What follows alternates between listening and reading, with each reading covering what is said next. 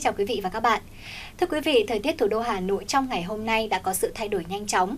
Buổi sáng, trời còn nhiều mây, sương mù răng khắp lối, nhiều nơi còn hóa mù ra mưa, tạo ra những cơn mưa nhỏ, mưa phùn như tiết trời những ngày xuân. Thì đến trưa thì trời lại tan mây và hửng nắng nhẹ, cùng với nền nhiệt tăng lên ấm áp. Cảm giác như mùa thu đang ở lại. Có sự thay đổi như vậy là do lúc này khối không khí lạnh tiếp tục suy yếu và lệch đông. Trạng thái này sẽ còn tiếp tục lặp lại trong đêm nay, sáng mai.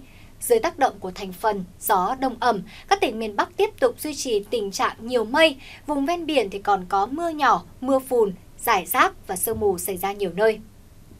Do có mưa và sương mù nên nhiệt độ về đêm và sáng ở Bắc Bộ không cao.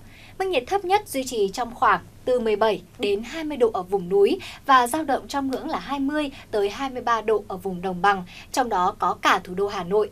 Trạng thái rét chỉ còn xảy ra ở các điểm vùng núi cao phía Bắc như là Mẫu Sơn, Sìn Hồ hay Pha Đin. Sang ngày mai, trời quang mây dần, trưa chiều có nắng hửng dần lên. Mức nhiệt trưa chiều mai trên toàn khu vực, trong đó có cả thủ đô Hà Nội sẽ tăng lên mức là 28 đến 31 độ, cảm giác ấm áp hơn hẳn. Quý vị có thể tranh thủ khoảng tạnh giáo này để dọn dẹp nhà cửa, đồ đạc. Vì dự báo trạng thái ấm áp này sẽ còn kéo dài đến hết tuần và sang đến đầu tuần tới thì khả năng Bắc Bộ sẽ đón đợt không khí lạnh có cường độ mạnh. Và theo đó, sang đến ngày 23-24 tháng 11 thì đồng bằng Bắc Bộ sẽ đón đợt rét đầu tiên của mùa thu đông năm nay nhiệt độ sẽ giảm hẳn từ 3 đến 4 độ, với nhiệt độ thấp nhất trên khu vực phổ biến là từ 16 đến 18 độ, vùng núi giao động 13 cho tới 15 độ, vùng núi cao có nơi còn dưới ngưỡng 10 độ. Với miền Trung, trong đêm nay và ngày mai cũng có được tình trạng thời tiết tốt, không nơi nào có mưa. Nền nhiệt ban đêm ở hầu khắp khu vực miền Trung giao động trong khoảng là 21 đến 24 độ và trời chỉ còn xe xe lạnh về đêm muộn và sáng sớm. Sang đến ngày mai thì trời sẽ có nắng từ sớm và mức nhiệt sẽ tăng theo từng giờ. Mức nhiệt cao nhất trong ngày mai ở các tỉnh từ Thanh Hóa đến Thừa Thiên Huế giao động trong khoảng là 29 đến 31 độ. Còn khu vực từ Đà Nẵng trở vào đến Bình Thuận thì trời có nắng mạnh hơn cùng nền nhiệt độ nhỉnh hơn, giao động ở mức là 30 đến 32 độ lưu xuống phía Nam. Khu vực Nam Bộ, chiều cường đã giảm dần, tình trạng nước cao gây ngập úng diện rộng cũng đã giảm bớt. Tây Nguyên và Nam Bộ đang trong những ngày thời tiết tốt.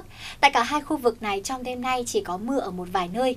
Các tỉnh vùng cao nguyên thì trời xe lạnh với mức nhiệt từ 20 đến 22 độ. Còn ở Nam Bộ thì trời mát mẻ dễ chịu với mức nhiệt 22 cho tới 25 độ. Sang ngày mai trời cũng có nắng từ sớm khiến nền nhiệt tăng nhanh. Mức nhiệt cao nhất trong ngày ở khu vực Tây Nguyên duy trì trong khoảng 29 đến 31 độ, còn tại các tỉnh Nam Bộ là 32 đến 34 độ. Cảm giác sẽ khá nóng bức vào thời điểm trưa chiều. Ngoài ra, cảnh báo chỉ số tia UV ở mức 8, nguy cơ gây hại cao, quý vị nên lưu ý để che chắn bảo vệ da và mắt. Trên biển, trong ngày mai, khu vực Bắc và giữa Biển Đông bao gồm cả quần đảo Hoàng Sa tiếp tục có mưa ở một vài nơi. Gió thổi đều theo hướng Đông Bắc đến Đông, nhưng cường độ chỉ duy trì ở mức yếu đến trung bình. Còn khu vực Nam Biển Đông bao gồm cả quần đảo Trường Sa có gió Đông Bắc cường độ cũng chỉ ở mức cấp 4, nhưng ở đây có mưa rào và rông diện rải rác, làm tầm nhìn xa giảm xuống từ 4 đến 10 km. Trong cơn rông có khả năng kèm theo lốc xoáy và gió giật mạnh nên bà con ngư dân cần hết sức lưu ý. Như vậy là ngày mai 20 tháng 11, thời tiết trên cả nước đều tạnh giáo, có nắng nhẹ, thuận lợi cho các hoạt động ngoài trời nhân dịp kỷ niệm Ngày Nhà giáo Việt Nam.